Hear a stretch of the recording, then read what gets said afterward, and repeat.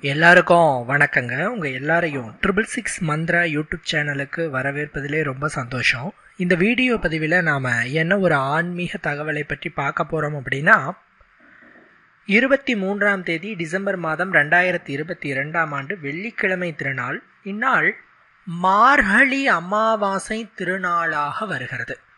இந்த தமிழ் மாதங்களிலே மார்கழி மாதம் ரொம்ப விசேஷகரமான மாதமாக சொல்லுகிறோம்.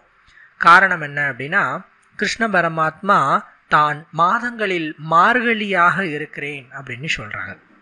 இந்த மார்கழி மாதத்துல வரக்கூடிய அமாவாசையும் மூல நட்சத்திரமும் இணைந்து வரக்கூடிய அந்த வேலைதான் ஹனுமான் ஜெயந்தியாக கொண்டாடப்படுகிறது. அதாவது கலியுகத்திலே சிரஞ்சீவியாகவும் காக்கும் கடவுளாகவும் கூப்பிட்டவுடன் ஓடோடி வரக்கூடிய கடவுளாகவும் வஜ்ரதேகம் கொண்டவராகவும் கடுமையான ராமபக்தராகவும் சொல்லக்கூடியவர் ஆஞ்சநேயர். அவரை வெல்வார் யாருமில்லை. அவரினுடைய பரிபூரண அருளை பெற்றுத்தரக்கூடிய ஒரு அற்புதமான நாள் தான் இந்த ஹனுமான் ஜெயந்தி திருநாள். முதல்ல இந்த மார்கழி அமாவாசை திதி எப்பொழுது தொடங்கி எப்பொழுது வரை இருக்கிறது என்பதை நீங்கள் தெரிந்து கொள்ள வேண்டும்.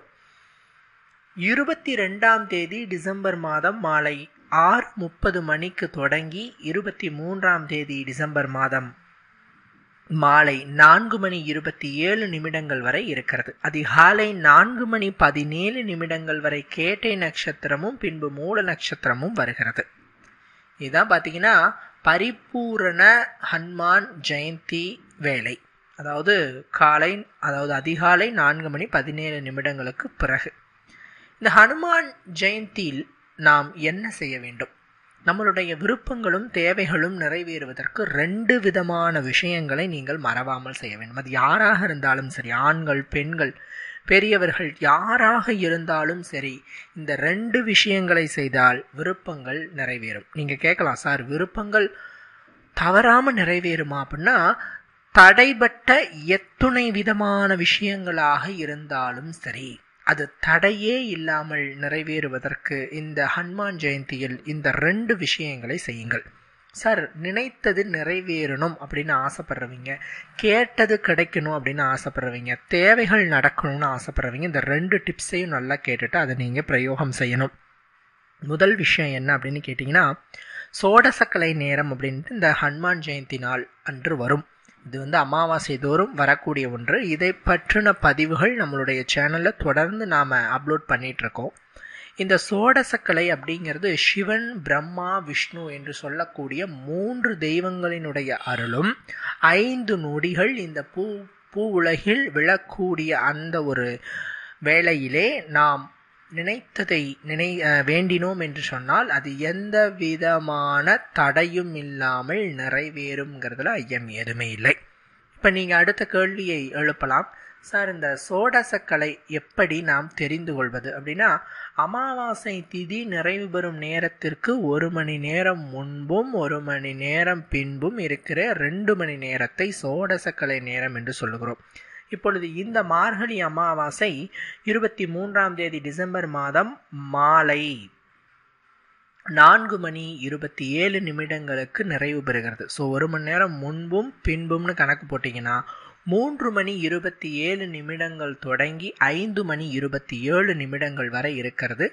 இந்த சோடச கலை நேரம் இந்த டைமில் என்ன பண்ணணும்னா யாரும் தொந்தரவு செய்யாத தனி அறையிலோ அல்லது பூஜை அறையிலோ அமர்ந்து உங்களுடைய முன்னாடி ஒரு விளக்கு ஏற்றிக்கணும். நீங்கள் பலகையிலையோ அல்லது தரையில் துணி விரிச்சோ அது மேலே உக்காந்துக்கலாம். தவறு ஒன்றும் இல்லை ஆண்கள் பெண்கள் எல்லாரும் செய்யலாம். அடுத்த கொஸ்டின் இதுவாக தான் வரும். சார் ஆண்கள் செய்யலாமா பெண்கள் செய்யலாமா? எல்லாரும் செய்யலாம். இது செய்யும்போது குளிச்சு முடிச்சுட்டு சுத்தபத்தமாக செய்யுங்க. ரெண்டு மணி நேரமும் முழு தியானத்தில் ஈடுபடணும். ஏதாவது ஒரு மந்திரம். இப்போது ஹனுமான் ஜெயந்திங்கிறதுனால ஸ்ரீராம் ஸ்ரீராம் ஸ்ரீராம் அப்படின்ட்டு மந்திரத்தை சொல்லிவிட்டு நீங்கள் பிரார்த்தனையை தொடங்குங்க. ரெண்டு மணி நேரமும் உங்கள் பிரார்த்தனை இருக்கணும். இந்த ரெண்டு மணி நேரத்தில் ஐந்து நொடிகள் கரெக்டாக கிளிக் ஆகும். இந்த ஐந்து நொடிகளைத்தான் நாம் சோடசக்கலை டைம்னு சொல்கிறோம் இது எப்போன்னு நம்மளால் கணிக்க முடியாது. நீங்கள் இப்போ அடுத்த கேள்வி எழுப்பலாம் சார். இந்த ரெண்டு மணி நேரத்தில் அந்த ஐந்து நொடிகள் எப்போன்னு சொல்லிவிடுங்க நாங்கள் கரெக்டாக அந்த டைமில் எங்களோட பிரார்த்தனையை வச்சுக்கிறோம் கோரிக்கையை வச்சுக்கிறோம்னா அது கணிக்க முடியாது. இந்த ரெண்டு மணி நேரத்தில் எப்போ நாள் வரும்.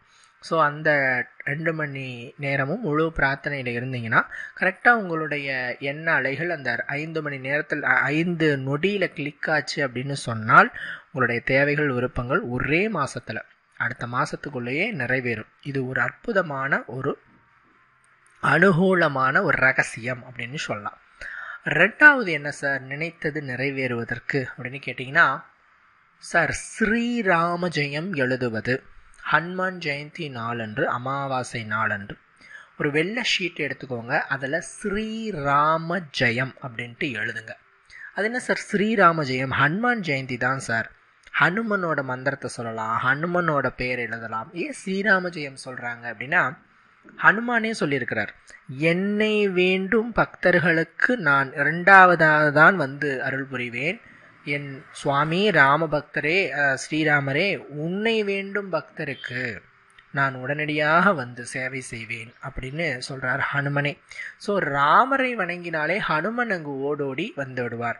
ஸோ அதனால தான் எல்லா மந்திரத்திலையுமே ஹனுமனுக்கென்று தனியாக புகழ்பாடும் விஷயத்துக்குரிய மந்திர ஸ்லோகங்களில் ஸ்ரீராமரினுடைய பெயர் இல்லாமல் இருக்கவே இருக்காது.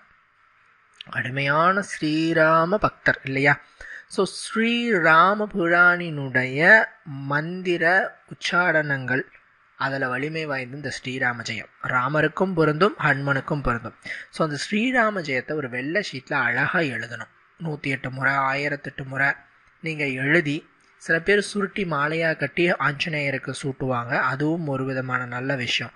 திருமண தடை வியாபார தடை தொழில் தடை கஷ்டங்கள் துன்பங்கள் எதுவாயினும் நீங்கும். மற்ற நாட்களே நாங்கள் எழுதி செய்கிறோம் சார். அப்படிங்கிறத காட்டிலும் இந்த ஹனுமான் ஜெயந்தியில் செய்வது தனியான சிறப்பான மங்கள பலன்களை உங்களுக்கு பெற்றுத்தரக்கூடியதாக அமையும் என்பதிலே ஐயம் ஏதுமே இல்லை.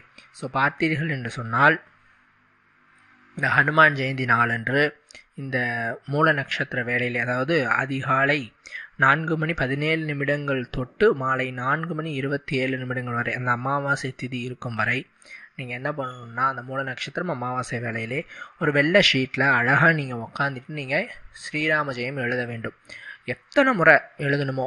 உருக்கள் என்று பார்த்தால் ஆயிரத்தெட்டு நூற்றி எட்டு என்று சொல்லலாம். ஆனால் உங்களால் எத்தனை முறை எழுத முடியுமோ உட்காந்து எழுதுங்க. உங்களோட மன ஆசைகள் விருப்பங்கள் எதையாவது ஒன்றை எண்ணி அந்த தேவைகளும் விருப்பங்களும் ஆசைகளும் தடை இல்லாமல் நிறைவேறணும். ஆஞ்சநேயா நீதான் அதுக்கு அனுகிரகம் பண்ணணும் அப்படின்ட்டு பிரார்த்தனை பண்ணிவிட்டு நீங்கள் அதை சிரத்தையோடு எழுதுங்க. உங்களோட தேவைகளும் பிரார்த்தனைகளும் ஆசைகளும் உடனே நிறைவேறுவதை உங்களால் கண்கூடாக பார்க்க முடியும். பல பேர் இன்னைக்கு இருக்கிறவங்களுக்கு திருமண தடை அப்படிங்கிற ஒரு விஷயம் இளைஞர்களுக்கு அது ஆண்கள் பெண்கள் யாராக இருந்தாலும் சரி நல்ல வரன் அமையவில்லை எங்களுக்கான வாழ்க்கை துணை அமையவில்லைன்னுட்டு ரொம்ப வருத்தப்பட்டுட்டு இருக்காங்க. அப்படி வருத்தமே தேவையில்லை. அந்த வெள்ளை ஷீட்டில் எனக்கு திருமண தடை நீங்களும்னு மனசில் நினச்சிட்டு ஸ்ரீராமஜெயம் எழுதி பாருங்கள் அடுத்த வருஷத்துக்குள்ளே உங்களுக்கு திருமணம் நடந்தே தீரும். என்னுடைய பர்ஸ்னலான எக்ஸ்பீரியன்ஸ் பார்த்தீங்கன்னா என்னுடைய ரிலேஷன் ஃப்ரெண்ட்ஸ் இவங்களுக்கெல்லாம் கூட இந்த ஹனுமான் ஜெயந்தியினுடைய சிறப்புகளை சொல்லி போன வருஷம். அதுக்கு முந்த வருஷம் கூட. சொல்லி அவங்க ஸ்ரீராம ஜெயம் எழுதி உடனடியாக இவங்களுக்கு திருமண தடை நீங்கி இப்போ பார்த்தீங்கன்னா திருமணம் நல்லபடியாக நடந்து முடிந்த எத்தனையோ பேர் என் என்னுடைய சுற்று வட்டாரத்தில் நிறைய பேர் இருக்கிறாங்க. ஸோ அதனுடைய பலன்களும் சக்திகளும் வேறே. ஒரு மந்திரத்தை ஆகட்டும் ஒரு பூஜையாகட்டும் நாம் செய்கிறது அப்படிங்கிறது நல்ல விஷயம். அது எப்போ செய்கிறோம் எந்த நேரத்தில் செய்கிறோம் எந்த முகூர்த்தத்தில் செய்கிறோம் நட்சத்திரத்தில் செய்கிறோம் இதெல்லாம் ரொம்ப முக்கியம். அதை பொறுத்து தான் அதனுடைய வலிமையாகப்பட்டது மாறுபடும். அதாவது சாப்பாட்டிலேயே பார்த்தீங்கன்னா சத்துள்ள பொருட்கள் இருக்குது அதை கம்மியான சத்துள்ள பொருட்கள் அதிக சத்துள்ள பொருட்கள் அப்படின்ட்டு வகைகள் இருக்குது இல்லையா? ஸோ அந்த வகைகளுக்கு ஏற்ப தானே நம்மளோட உடலுக்கு தேவையான எனர்ஜிஸ் கிடைக்கும். ஸோ பார்த்தோம் என்று சொன்னால் நம்மளினுடைய தேவைகளும் விருப்பங்களும் ஆசைகளையும் உடனே நிறைவேற்றி கொடுக்கறது தான் இந்த ஹனுமான் ஜெயந்தி திருநாள். அந்த ஹனுமான் ஜெயந்தி திருநாளிலே செய்யக்கூடிய ஒரு அற்புதமான வலிமை பொருந்திய ஒரு வழிபாட்டு முறையில் இந்த ஸ்ரீராம ஜெயம் எழுதுவதும் மிக மிக முக்கியமான ஒரு விஷயம் என்பதிலே எந்த விதமான ஐயமுமே கிடையாது. அதே மாதிரி ஆஞ்சநேயரை அவசியம் அன்று வணங்குங்கள். அருகில் ஆலயம் இருந்ததுன்னா செல்லுங்க.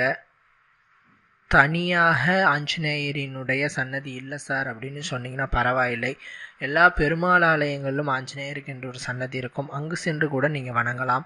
ஆஞ்சநேயரினுடைய வலிமை பிருந்திய மந்திரம் ஸ்ரீராமஜயம். இதை சொல்லுங்கள். எழுதுவதோடு இல்லாமல் சொல்லுங்கள். ஆஞ்சநேயரினுடைய அருளை பெற்று பெருவாழ்வு வாழ்ந்திடுங்கள். இந்த பதிவு பயனுள்ள பதிவாக இருந்திருக்கும் என நம்புகிறோம். நன்றி. வணக்கம். விருந்திய மந்திரம் ஸ்ரீராமஜயம். இதை சொல்லுங்கள் எழுதுவதோடு இல்லாமல் சொல்லுங்கள். ஆஞ்சநேயரினுடைய அருளை பெற்று பெருவாழ்வு வாழ்ந்திடுங்கள். இந்த பதிவு பயனுள்ள பதிவாக இருந்திருக்கும் என நம்புகிறோம். நன்றி வணக்கம். வணக்கம்.